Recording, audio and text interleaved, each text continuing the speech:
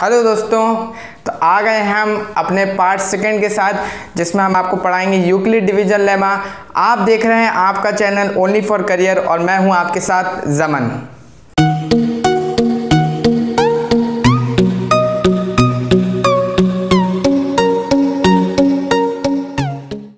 तो चलिए स्टार्ट करते हैं। Euclid division lemma. हमने लास्ट वीडियो में डिस्कशन किया था, जो रियल नंबर्स का इंट्रोडक्शन मैंने आपको दिया था। चैप्टर नंबर वन मैथ्स का। अगर आप नए हैं, आपको नहीं पता है तो पहले आप जाके पार्ट फ़र्स्ट देख लीजिए, जो इसका इंट्रोडक्शन वीडियो है, उसका लिंक मैं आपको आई बटन में दे दूँगा तो आप वहाँ से जाके देख सकते हैं, ठीक है? तो मैंने जो है आपको इंट्रोडक्शन वीडियो में ये बताया था कि पहला जो हम टॉपिक कवर करेंगे, वो होगा आपका यूक्लिड डिवीज़न लेमा क्या होता है यूक्लिड डिवीज़न लेमा कैसे होता है? कहाँ से ये आया? Euclid division lemma, Euclid division lemma में यूक्लिड जो है हमारा, ये वर्ड जो है, यूक्लिड। ये जो है एक मैथमेटिशियन का नाम है, यूक्लिड उनका नाम था। और यहाँ पे जो लेमा है, डिवीज़न लेमा जो है, डिवीज़न मतलब तो आपको पता है डिवाइड मतलब। और लेमा मतलब ये होता है अप्रूवल स्टेटमेंट यानी कोई भी ऑलरेडी प्रूव्ड स्टेटमेंट है, उसे हम कहेंगे लेमा, ठीक है? तो यूक्लिड डिवीज़न लेमा, ये यहाँ से नाम आया।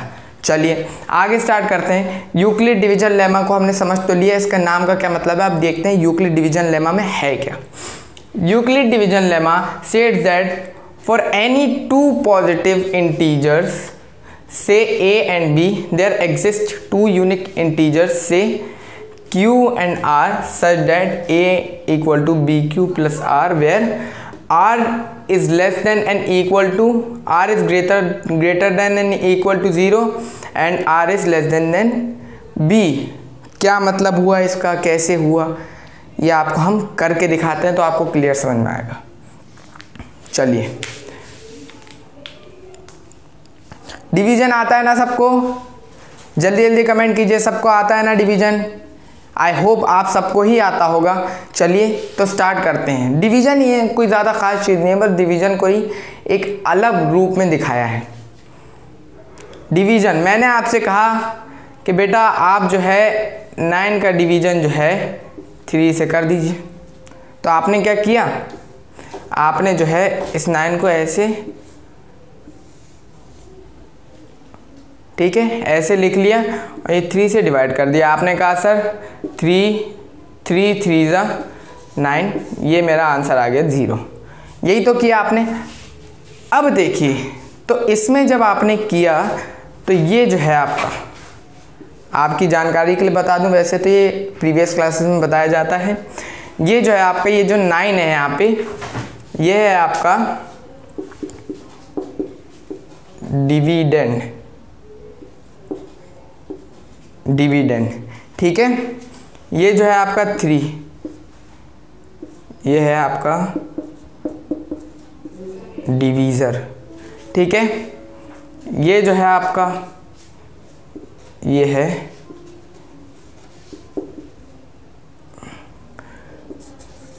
रिमाइंडर और ये जो है आपका, ये वाला थ्री ये है क्वेश्चन अब यहाँ पे कंफ्यूज मत होइएगा कि यहाँ भी थ्री है, यहाँ भी थ्री है तो दोनों एक ही जैसे नहीं। देखिए, कैसे हम पहचानते हैं क्या डिवीज़र है, क्या डिविडेंड है, क्या क्वेश्चन है, क्या रिमाइंडर है? जिस नंबर को हम डिवाइड कर रहे हैं, यानी जब डिवीज़न होता है तो एक नंबर वो होता है जिससे डिवाइड कर रहे हैं, एक नंबर वो होता है जिसको डिवाइड कर रहे हैं। तो जिस नंबर को डिवाइड कर रहे हैं, जैसे कि यहाँ पे नाइन को, उस नंबर को हम कहेंगे डिविडेंड क्या कहेंगे? डिविडेंड जिस नंबर से डिवाइड कर रहे हैं, उस नंबर को कहेंगे डिवीज़र। ठीक है? तो यानी हम डिविडेंड को डिवीज़र से डिवाइड कर रहे हैं। यानी नाइन को हम थ्री से डिवाइड कर रहे हैं। ठीक है? जो नंबर हमारा मतलब डिवाइड करने के बाद लास्ट में जो आपका बचता है, उसे हम कहते हैं रिमाइंडर और जो हमारा आंसर आता है, उसे हम कहते हैं क्वेश्चन। इतनी बात क्लियर है? ठीक है। अब यहीं से देखिए। आपका ये जो डिविडेंड है, मान लीजिए मैंने इसे ए मान लिया, ठीक है? डिविडेंड को मैंने ए मान लिया। अब ये जो आपका क्वेश्चन है, ठीक है? क्वेश्चन को मैंने क्यू मान लिया। और आपका ये जो डिवीज़र है, इसे मैंने बी मान लिया। एंड आपका जो रिमाइंडर है, इसे मैंने आर मान लिया। अब ये हमारा डिविडेंड डिविडेंड यानी nine is equal to question यानी थ्री पहले ये आएगा या ये आएगा, बात एक ही है, लेकिन फिर भी अगर फॉर्मूले के हिसाब से देखें तो ठीक है? तो डिवीज़र यानी three into question three plus remainder R यानी ज़ीरो अगर हम इसे ऐसे अल्फ़ाबेटिकली फॉर्म में लिखें तो हो जाएगा A is equal to B Q plus R ये आपका फॉर्मूला आ गया। ठीक है? A is equal to B Q plus R यानी nine is equal to three into three plus zero अब यहाँ पे प्लस ज़ीरो लिखें या ना लिखें, कोई फ़र्क नहीं पड़ता। बट अगर रिमाइंडर यहाँ हमारे ज़ीरो के अलावा कुछ और आ जाता तो बहुत ही फ़र्क पड़ता। ठीक है? आप समझ सकते हैं, अगर मैं किसी भी नंबर में ज़ीरो प्लस करता हूँ तो कुछ फ़र्क नहीं पड़ता। लेकिन अगर मैं किसी नंबर में ज़ीरो के अलावा और कुछ भी प्लस करता हूँ तो बहुत ही ज़्यादा फ़र्क पड़ता है, ठीक है? तो यहाँ पे जो है, ये हमारा फॉर्मूला बन गया A is equal to B Q plus R ये हमारा यूक्लिड डिवीज़न लेमा हो गया। अब यूक्लिड डिवीज़न लेमा सर आपने सिखा दिया। क्या होता है यूक्लिड डिवीज़न लेमा क्यों सीखे हमें से तो देखिए, यूक्लिड डिवीज़न लेमा से हम एच सी एफ़ निकाल सकते हैं। एच सी एफ़ यानी एच सी एफ़ यानी इरेज कर दें। ये नोट कर लीजिए आप। मैं हट गया हूँ। ठीक है। तो इसे मैं इरेज कर देता हूँ।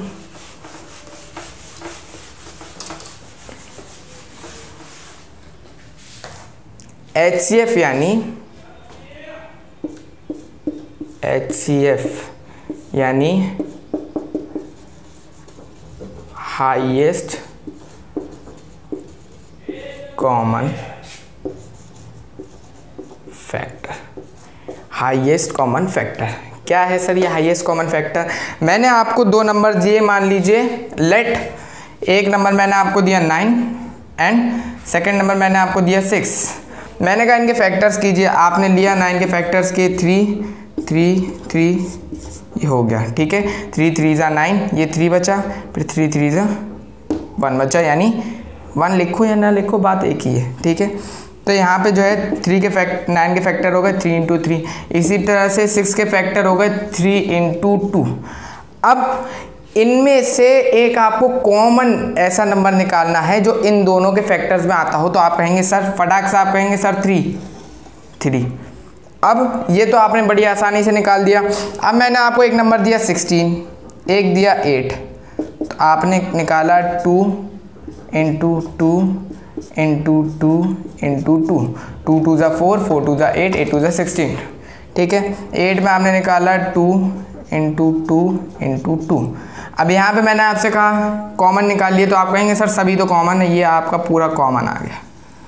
ठीक है? इस टू का जो है कोई साथ देने वाला नहीं था, इन तीनों का साथ ही मिल गया। यानी हम पेयरिंग करते हैं, ठीक है? तो इसी तरह से अगर दो नंबर के हम फैक्टर्स निकालें तो उनमें से जो सबसे बड़ा फैक्टर होता है, जैसे यहाँ पे तो सिर्फ़ जैसे यहाँ पे मान लीजिए मान लीजिए नाइन के फैक्टर जो होते हैं, ये होते three into three into eight into sixteen और यहाँ पे होते three into two into sixteen ठीक है? इंटू एट तो आप यहाँ पे ये नहीं कहते कि फिर ये इसका जो है, ये इसका कॉमन तो आ रहा है नंबर बट अगर मैं कहूँ HCF यानी हाईएस्ट कॉमन फैक्टर सबसे बड़ा नंबर ऐसा जो इन दोनों में कॉमन आता हो, वो आप कहते हैं सिक्सटीन ठीक है? तो आपका एच सी एफ़ सिक्सटीन हो जाता है। तो ये होता है हमारा एच सी एफ़ अब क्या होता है एच सी एफ़ से?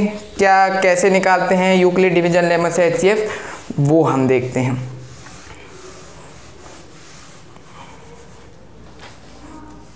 तो देखिए, यहाँ पे मैंने कुछ एग्जांपल्स दे रखे हैं आप ही के लिए, जिससे आपको जो है यूक्लिड डिवीज़न लेमा और बेटर समझ में आ सके। ठीक है तो यूक्लिड डिवीज़न लेमा हमने समझ लिया। यूक्लिड डिवीज़न लेमा से एच निकाल सकते हैं, ये भी हमें पता है, लेकिन कैसे निकालते हैं, ये नहीं पता है। तो ये पता कर लेते हैं। जैसे कि मान लीजिए अच्छा जब आप डिवाइड करते हैं तो आप हमेशा एक बात ध्यान रखते हैं।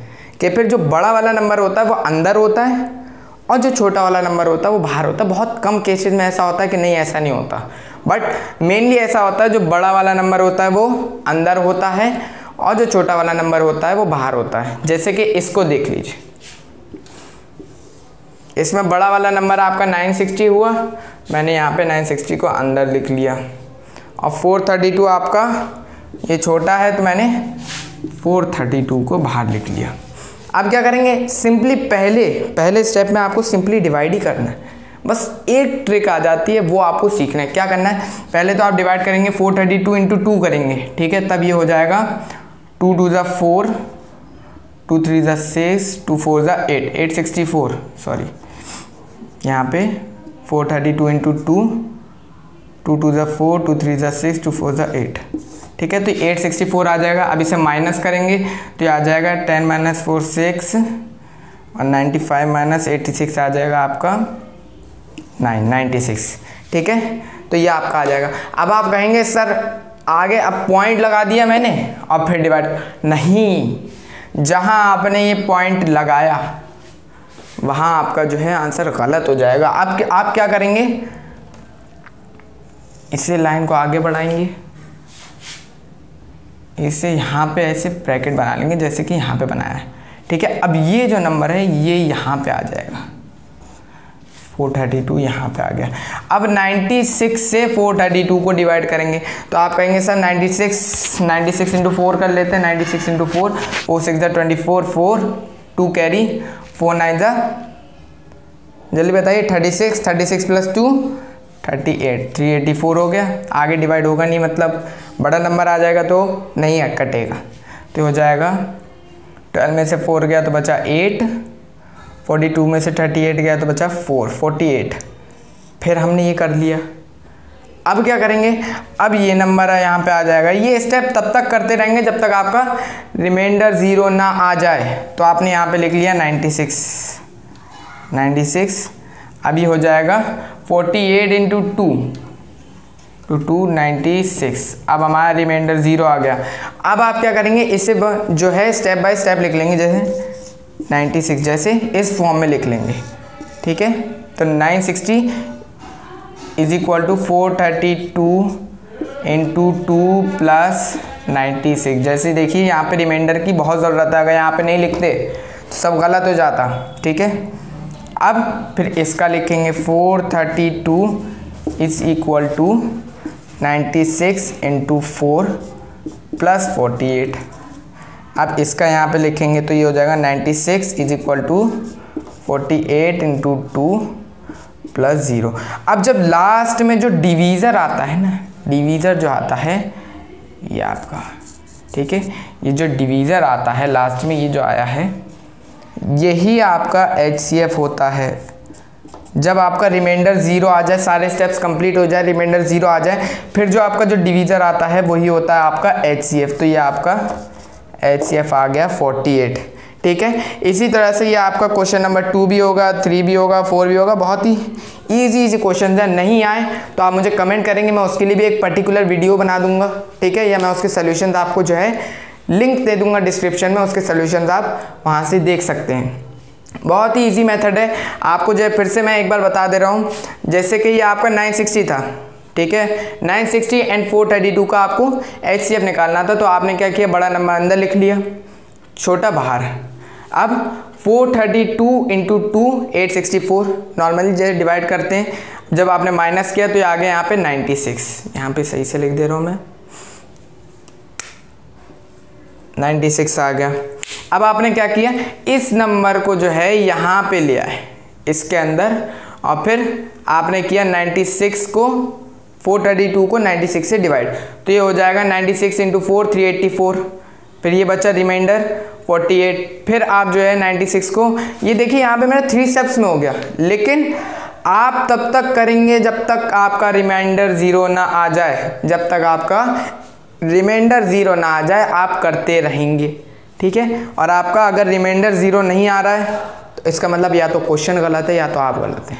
ओके तो ये जब मेरा लास्ट में रिमाइंडर ज़ीरो आ गया, फिर जो डिवीज़र था ना उसका, वही हमारा एचसीएफ हो जाएगा। तो यानी H C F of nine sixty and four thirty two is equal to forty eight screen ले लीजिए आप या नोट डाउन कर लीजिए, मैं हट गया बोर्ड से। ओके तो आगे के जो थ्री क्वेश्चन हैं question number two question number three question number four ये जो एग्जांपल्स हैं, ये आप खुद सॉल्व करेंगे आंसर मुझे कमेंट करेंगे, जिससे मैं भी तो देखूँ आपको समझ में आया कि नहीं।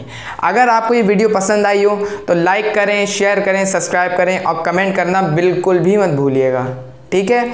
आपको जो है पार्ट इसका जो नेक्स्ट पार्ट है, वो आपको उसका लिंक जो है डिस्क्रिप्शन में दे दिया जाएगा। ठीक है आज के लिए बस इतना ही मिलते हैं अगली वीडियो में।